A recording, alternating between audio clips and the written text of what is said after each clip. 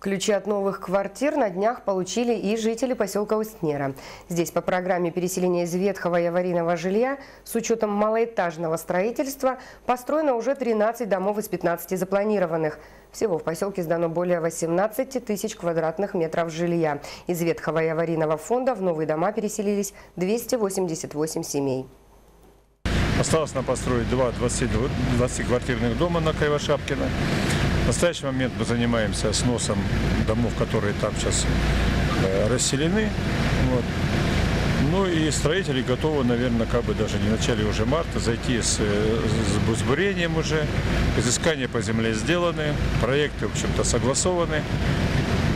Компоновка домов тоже согласована. В общем, приступаем к работе. Ну и очень надеемся, что до конца этого текущего года мы дома эти задим и закроем эту программу полностью, в полном объеме.